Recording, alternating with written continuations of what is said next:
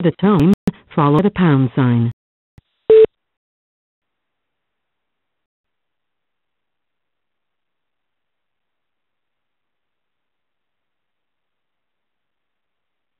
Conference.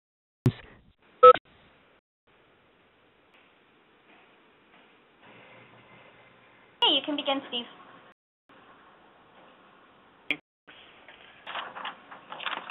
Well, I'm Steve Fleegel. I'm with the National Weather Service office in Marquette, Michigan, and I'm going to talk about some of our aviation, external aviation grids that we do here at our office.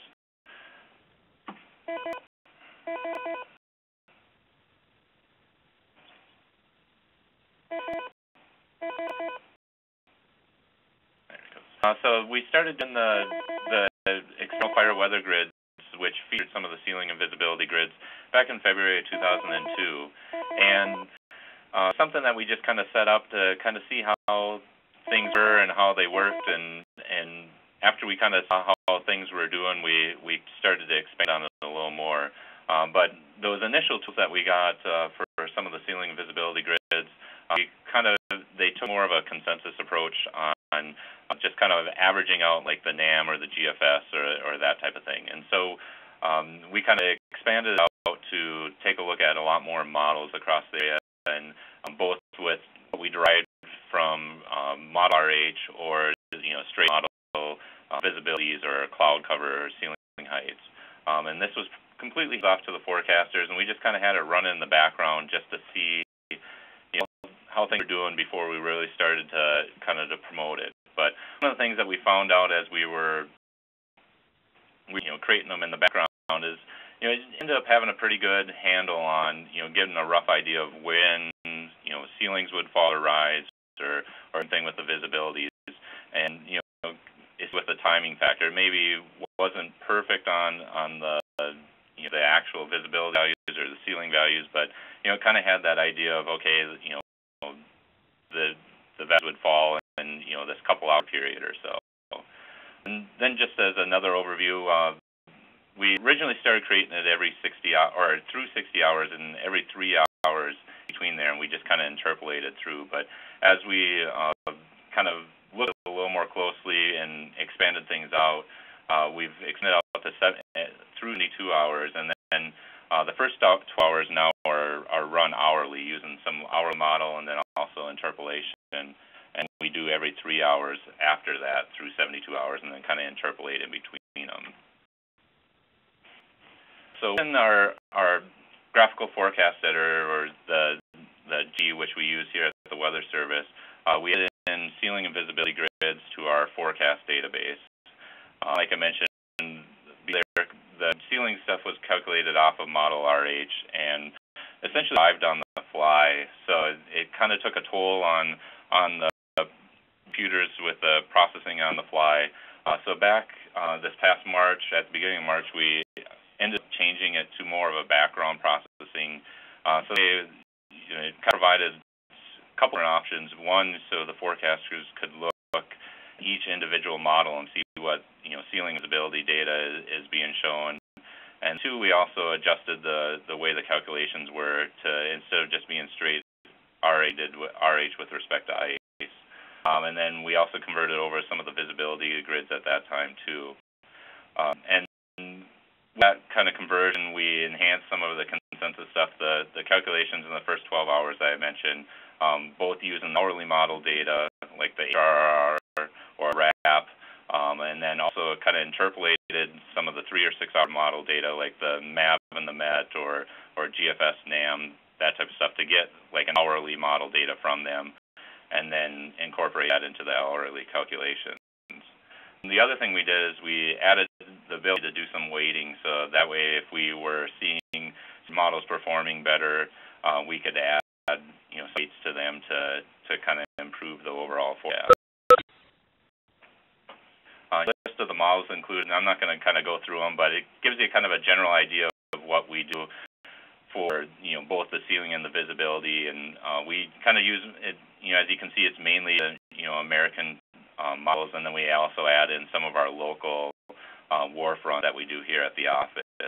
And then, unfortunately, due to both GFE and AWIPS limitations, we don't are aren't using any of the Zen model or the ECMWF and uh, some of the other NCEP models just be, due to lack of uh, you know data that we get in. The forecasters can can do the data within the, our GFE. Uh, we have a separate subset of aviation um, viewing, so we can look at both uh, the kind of the consensus ceiling and visibility data, and then also all the individual models. So it makes it real easy to kind of go through and you know it, whether it's seeing how things are performing in the current time frame or what they're expecting in the in the future. Um, and, and we also set up a, a color table to to match our categorical uh, amendment criteria. Uh, Fortunately for us, for all, all three of our TAF sites are, are the same, so it made it real easy to um, to you know have the color table the same for the whole and or for the entire area, and uh, just kind of a normal um, kind of coloring curve down to know kind of red or purple ends up being you know the worst conditions, and then transitions up to to gray or black to to show the the improving conditions. I also added the information into AvnFPS, kind of similar to what some of the Eastern Region offices in, in the Weather Service have done, uh, to in the, both the visibility and the ceiling data.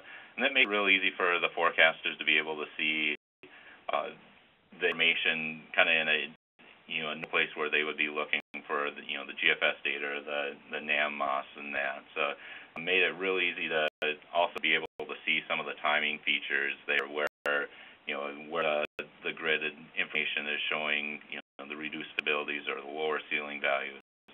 Um, and you know we had to make a few more background changes, but we might uh, kind of go with more of a consistency with what some of the other offices are have been starting to do or have been doing. Uh, show a couple case studies of, of how the grids have worked out or haven't worked out over the last uh, couple months. Uh, the first one is from March 2011, or March 11, 2013. Um, we had a low pressure system moving out of the plains and through the Great Lakes region. Uh, the image here on the on the left hand side is our snowfall forecast uh, that period. So pretty good swath of snow across the central part of Upper Michigan, and influencing one of our TAF sites, um, Sawyer National Airport, or KSAW, which is located roughly around where the pointer is there, and you know, kind of one of our, or pretty much the main airport in in the UP for for traffic for us. So um, so this is a good case study to kind of show how how the system impacted that site. Here's some examples. Uh, unfortunately, the limitations on with um, you know loops and animations. Just kind of added a couple kind of like snapshots of, of how ceiling and visibility grids look through this event. So this is as the low pressure system is starting to move through Illinois and approach the area. So the visibility grids are kind of highlighting the area where you know some of that um, your snow was falling, and then um, you also have that with the ceiling grids. And so I'm just going to kind of step through uh, six hours at a time here, so you can see here six hours later, you know that low pressure system starting to move into into Lake again. You can see a pretty widespread swath of of moderate to heavy snow across the area, and and anywhere you're kind of seeing some of those oranges and reds, it's you know, generally like a mile and a half or lower, a mile or lower in the visibilities. And then step another six hours, and it's kind of transitioning as that you know the main swath of precipitation is moving out with the northeast winds across Lake Superior. It's kind of transitioning more to a, a lake effect or enhanced event where you start to see the the higher visibility or lower visibility values over the higher terrain of, of north central Michigan, which is kind of one of the you know traditional things that we see up here in the, with those type of uh, low pressure system tracks. Brief bounce out to, verification. Um, these are critical amendment criteria categories. I'm not going to go into the you know the real nitty gritty for them, but the main thing is just kind of the highlight the color coding that I got here because I kind of use it throughout the rest of the slides. Um, and this is just kind of highlighting our MVFR, must file alter alternates, IFR, and then the alternate landing mins and the airfield landing mins. So um, just kind of keep those color schemes, you know, in mind as we kind of go through some of these next couple slides. But the main one we'll kind of be highlighting is more in the, uh, you know, the yellow, uh, red, and purple colors. Take a look at the, the verification for this event for the for the International Airport um, there in Marquette County. Uh, the the the car, the first grouping here on the left-hand side, that was uh, like a 24-hour forecast, or you know, that was grids that were created for the for the March 10th at 6Z TAF forecast. And kind of runs every um, couple of times before each TAF forecast. Will so we end up running it right around eight times per day. Uh, that way we can kind of get a initial guess there for the forecasters um, a couple hours out, and then run it right again right before the the TAFs go out just to get kind of the most recent model data. But the thing to highlight in, in this first column is we've and this is the same all the way through, is we've got the actual METAR observations from Sawyer, um, identified METAR, here's the ceiling, and then the visibility here. And anything that I've got labeled NDFD, that's essentially our, our local grids here. So uh, the, the key thing to highlight here 24 hours out is, you know, they, especially visibility, they had the idea of that alternate landing mins, um, you know, pretty consistently you know, once we got, you know, out of that 24-hour period. It wasn't, you know, exactly perfect on the timing. Looks like, you know, in this case, the METARs reported the, those visibilities lower um, than what the forecast was indicating 24 hours out. But as we start bouncing, you know, go to 12-hour out forecast, you can see that that that kind of difference or the timing is getting a lot better there between the, the you know the actual METARs and the gridded database. And then when we go to six hours out, you know, it pretty much nailed it, you know, right on the nose for for that hourly start time. Um, looking at some of the ceiling data, you can kind of see here, uh, like it's mainly indicating that alternate landing or must file alternate um, in our grids, but uh, you know, it was more of an IFR alternate landing mins for for the METAR, and that's kind of one of the biases that we've seen, and I'll kind of go into that a little bit further, where you have a little bit of a high bias in the ceiling grids. Case um, from this past March, on March 19th, we had a low pressure system that, that was, was shifting east out of the northern plains and through the Great Lakes region. Uh, and kind of this ends up being for our, our, one of our other TAF sites, Houghton County Airport, uh, KCMX, which is located on the Keweenaw Peninsula, and that one's, uh, you know, majority of the time through the winter kind of controlled by lake effect clouds and precipitation.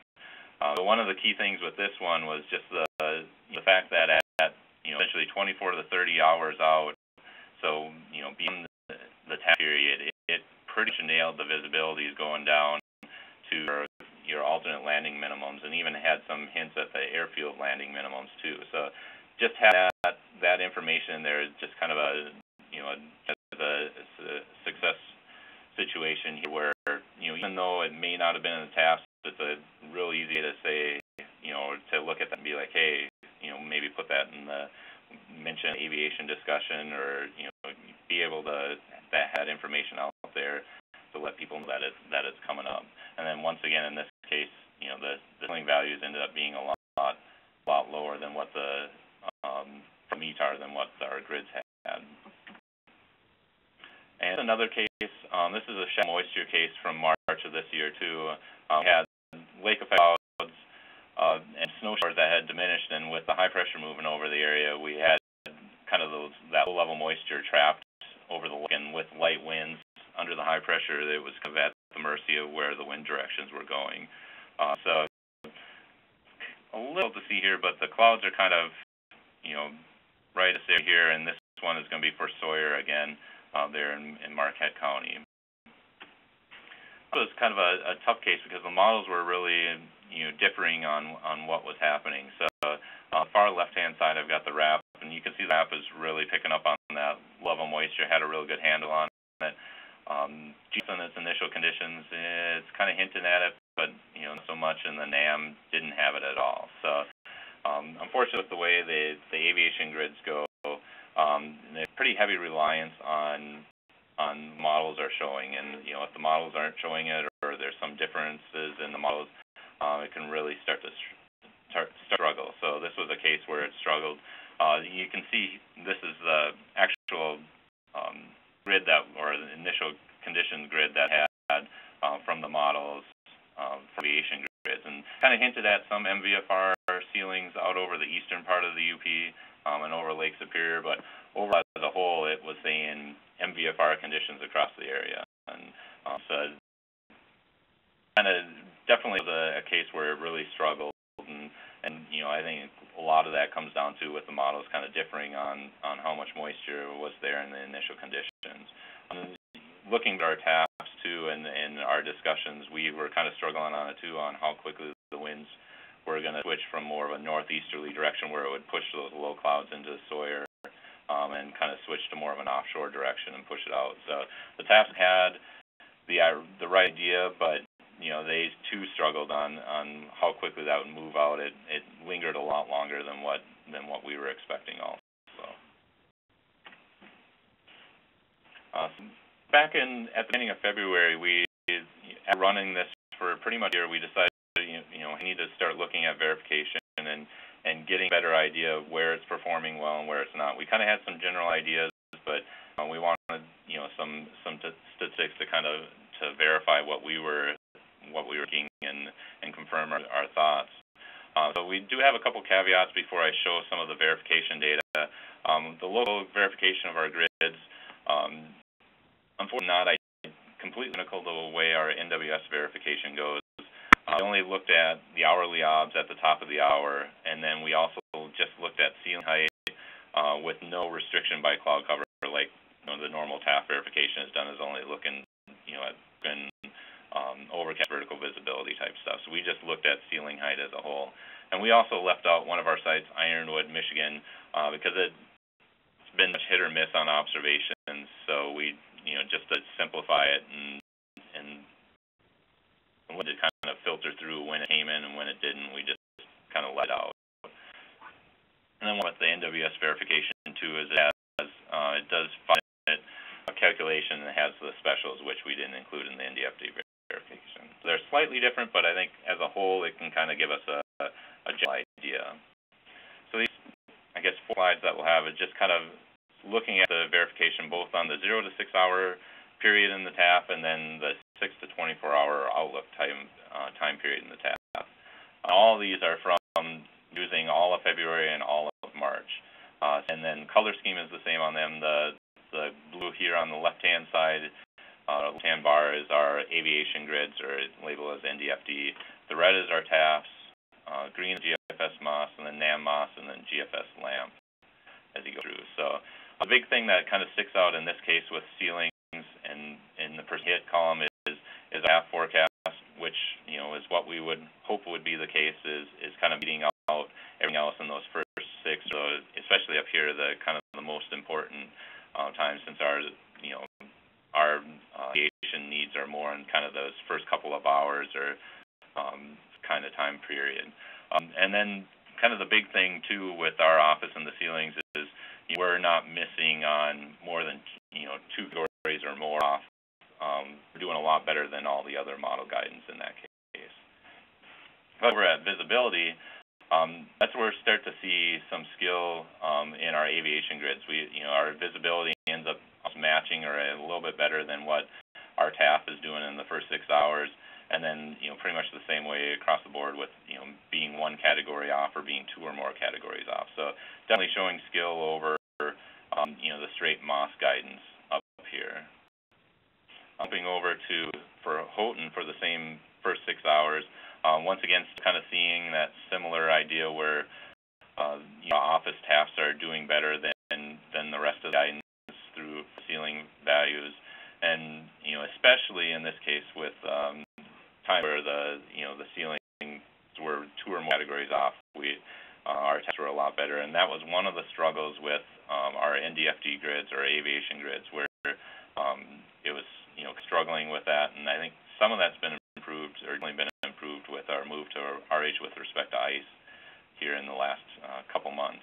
Um, but visibility, you know, once again, it's as good, or you know, maybe you know maybe a little bit better in some cases than everything else, uh, especially, you know, our TAFs are kind of similar. When we start seeing things even out is when we move more towards that outlook period or the 6 to 24 hour time forecast. Um, you know, looking at that ceiling, you know, pretty similar across the board with all the guidance. So, you know, not you know a significant improvement. The one thing you know in this case is is office ends up doing better with um, you know, being uh, you know seeing within one category. Um, you know, so we're you know we're we've the right idea, but we're, you know we're not you know extremely off, uh, which is you know we're seeing you know kind of where the rest of the guidances can be um, you know two or more categories off a little more often than our our TAFs. But you know once again in the, in this case the visibility grids you know really starting to show some skill where you know definitely seeing a lot better than what you know the rest of the you know MOS or our TAFs are doing um, you know, the rest of the way. And that same same thing holds true for Houghton, where um, you know the visibility continues to show skill, and that's kind of something that we had seen um, over the first year, and you know that kind of solidifies you know the, that the ceilings are have been doing um, performing pretty well and doing better than what than what most of their uh, guidance is saying. So um, some of the positives that we've seen in grids is does really well with synoptic systems, uh, especially you know, or as long as there's the model consistency there. If there isn't the model consistency, that's when you can see it start getting shaky, and you know, it's kind of the same thing with with some you know our forecast. And um, as I've been mentioning, the visibility is both with uh, you know actual values and the timing um, really been doing well, and I, a lot of that has to do with you know a lot coming from derived data from the models and straight from the models instead of try, trying to calculate it out like we do with the ceilings. Uh, we did do some changes here with that respect to ice to to improve the ceilings in the lake effect areas, and that especially helped for for Houghton when we made that change. The shortcomings that we with the with the aviation grids, um, one of them I already showed that shallow moist layer. Um, you know, models to struggle with that as I showed in that case, and then we also have kind some limitations within GFE where we only get data into GFE every 25 millibars. So, you know, it's there's a pretty potential there. It could be a potential that those those shallow layers end up getting missed by, you know, by those those values. Um, uh, most kind of struggle with this timing of the lake effect snow and clouds. It always seems like we kind of hit earlier than what it you know, part maybe biased by the way the models kind of handle that. And then the big thing for us is is trying to get a handle on uh, on the low ceilings. And, and I think a lot of it, you know, based off of what I've looked at, kind of is due to the way we kind of average everything out. Uh, because if a lot of times they'll be at those lower ceilings, but if you get like one or two models that you know maybe don't have that low ceiling, um, it can just you know up the you know the visibility or the ceiling values pretty quickly. Um, you know, an example if we had you know let's say models and we're showing 500 foot, but you get one that's 20,000 feet, it's gonna it's gonna shoot up the consensus ceiling up to almost 2,500 feet. So you know that's a pretty significant change or jump in the in the values, and you know kind of in one of the more critical times. Other thing too is you know with um, heavier snow or especially up here in the wintertime in the blowing snow, um, a lot of times you get some vertical visibilities that you know won't be by the ceiling grids because you're calculating more of the ceiling and not based off of what's happening at the surface. So I think that's something that we can um, maybe improve based off of our actual forecast for for those sites by you know using some tools to adjust the the ceilings based off of the you know if we have heavy snow or you know moderate blowing snow or you know, spread blowing snow. And then just kind of continue to highlight that that issue we have with the lack of lower ceilings. Um, just take a look at the frequency of, you know, how often METAR values show a certain, um, you know, category, and then how often our aviation grids show a category. So we've got um, from left to right VFR, MVFR, and then the MUFOL alternate IFR, alternate landing and airport landing mins. And so, you know, the big thing that sticks out is in that VFR range where um, the METARs, you know, in this case for Sawyer and, and the first 36 hours um, of the forecast would show you know, about 40% of the time or a little over 40% of the time VFR conditions, where our ceiling grids would show a little over 60%. So I think that's kind of the big, the thing is kind of narrowing down and getting into these these lower ceilings because you can see, you know, IFR and below you know METARs, you know, show that you know the frequency low, you know, overall percentage isn't much, but I mean there's a huge discrepancy between what we're actually getting with um, than what's actually being reported. Um, but if you shift over to visibility, you know, like I was showing in some of the previous uh, verification, you know, the visibility is, got a handle on how things would go throughout, you know, pretty good, um, you know, comparison between them. So I think the visibility is is sitting pretty good. It's you know the ceiling that we need to work on a little bit. Some of that improvement, you know, like I alluded to earlier, mentioned before, is with the R issue with respect to ice. Make that change, you know, really seemed to show a, a significant improvement in the low ceilings, uh, especially at our uh, Houghton site, KCMX. Uh, in this case, I just took at all the times that the the Houghton site in the um, you know the first 36 hours that, that we you know were doing the forecast, um, how long it had MVFR or lower ceilings, and then took a look at what our aviation grids were were showing in that case. So during the month of February, when we were doing some of our previous calculations, you know, you can see you you'd essentially want it to be you know, closer to or similar to what the METAR, actual METAR values are, but you know here in this case we were getting you know you know 50 obs between you know like 1,200 and and 7,000 feet, and you know with MVFR you don't really your ceilings to be coming up that that high. But once we switched over to March, and fortunately in this year with the with the spring being you know kind of a lot cooler and a good majority of our snow fell in February and March, and and actually even into April up here. Um, you know, so we had similar conditions both in February and March, and that improvement, you know, definitely brought the you know the the ceiling the down to a at least a, a little more reasonable values and you know a lot less of a high bias than what we had been seeing. So I think that's definitely a, a turn in the right direction and kind of continue to focus on that. Our, our main thing for what we work on in the in the future is to try and improve that uh, during those IFR and lower ceilings conditions. Um, and then also kind of take a look at some summertime convection. Our verification has just been in these, you know, these last couple of months. So be nice, nice and be interested to see how well it performs um, with convective situations. Uh, so probably plan on doing some sort of verification this summer.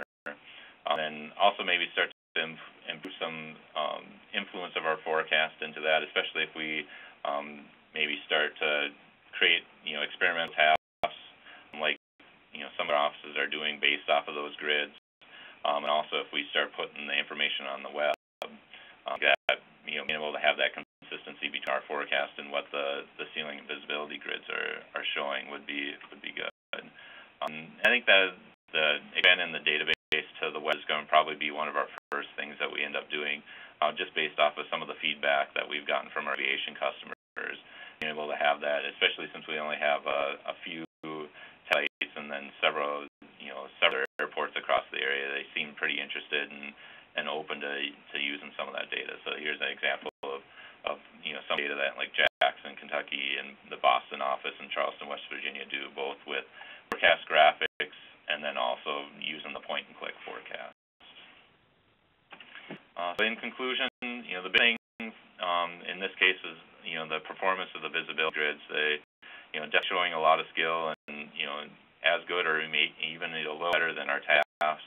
Um, you know which is you know, it's a good confidence builder that that's definitely going in the right direction, especially with the the you know potential that we may be doing visibility grids uh, sometime in the near future.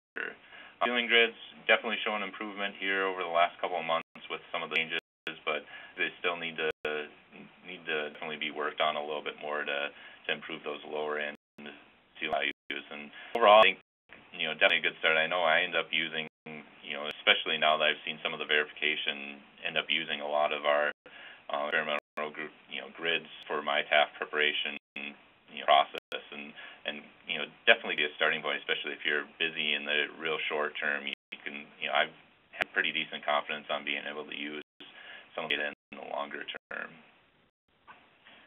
I think that's all I have. If anyone has any questions.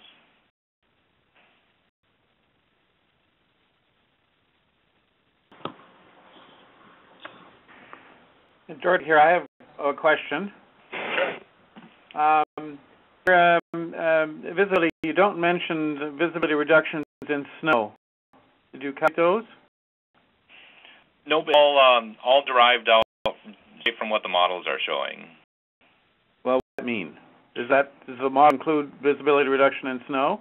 Yep, yep. Okay. And the second question is, uh, uh, you you suggested you're doing ceiling by, relative humidity hmm thresholds. Uh, model does more than that. I would assume you could use a liquid water threshold or a, or a condensed water threshold uh, from most of these models. How come you didn't use it? It's, it's largely due to our our limitations on what we get into our our forecast, our GFE forecast system. Um, that go that is is a lot more limited than what you know we in AWIPS and what we get from the models. So so our my hand kind of tied based off of off of what we get into into that, and um, that's kind of why we we stuck with the with the relative humidity. Can you an idea of what kind of thresholds you use for relative humidity? Um, uh, we just especially once we get to respect to ice, uh, just a lot of it kind of had to be off a model, uh, but usually we'll use anywhere from you know like somewhere in like the 95 to uh, you know 105 percent range for for um, with respect to ice, and you know, depended. I kind of tweaked it based off of like the NAM tends to to go a lot higher in the in the RH with respect to ice than some of the other models. So I kind of had to tweak it based off of off of those those values. Unfortunately, it wasn't wholly scientific, but um, it kind of just kind of adjusted it to make it more realistic with what um, we kind of see with those. GFS, uh, when I use that, it ends up being a little bit lower because it doesn't um, go tend to go as high as what like the NAM would end up going. And then just the straight RH um, and those values just kind of used anywhere from uh, uh, like 8 to, to 90 to you know 100 type range there, and the you know that also adjusted based off of the models you know on on their how at least I had kind of been verifying or what I've been seeing um, for them for up here. So no strict scientific type data there, but I I think that's the big the hold up for for some of the ceiling data is just trying to to maybe come up with a better way or you know to be able to use or get some of that model data. But you know with our with what we get in in GFE, it really kind of holds us back. Okay. Mhm. Any other questions for Steve? Yeah, Brian Moretsky at Eastern Region Headquarters. Hi. Um, quick question. I kind of missed the vacation. What what was the NDFD? What are you using as NDFD?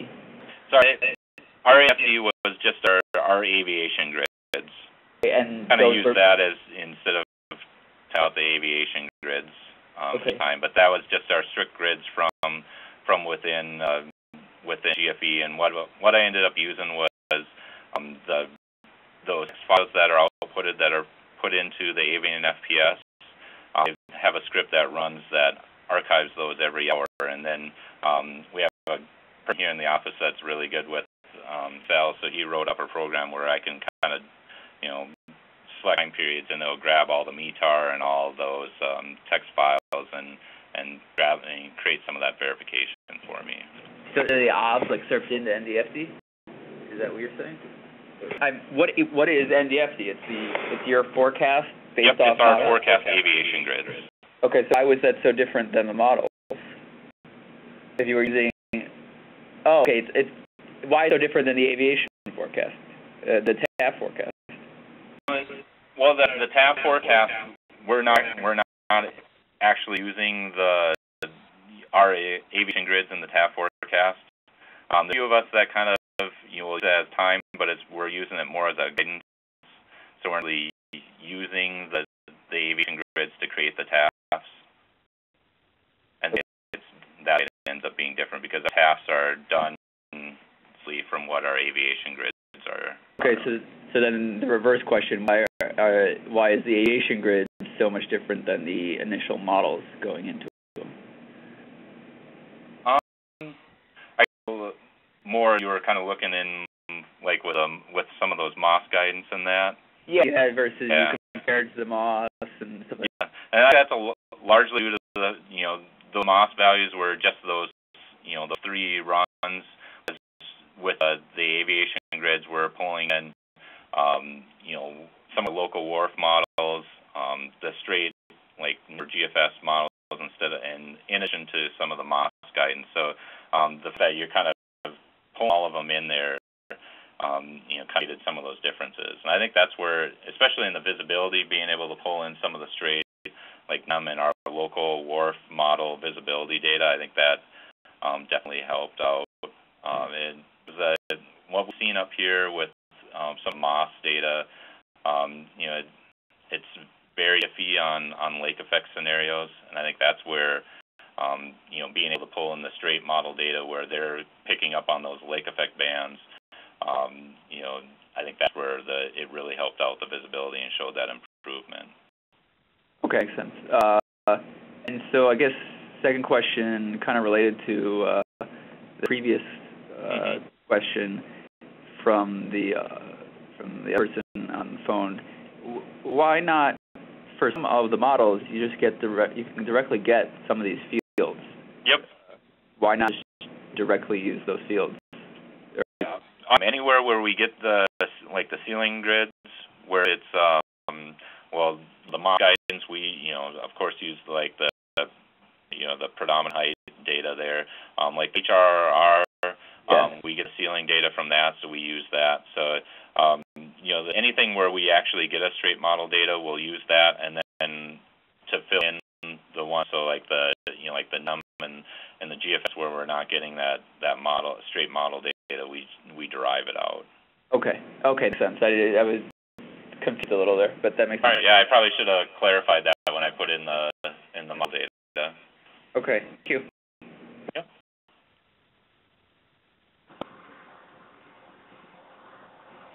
Any questions? Okay. Steve? Yep.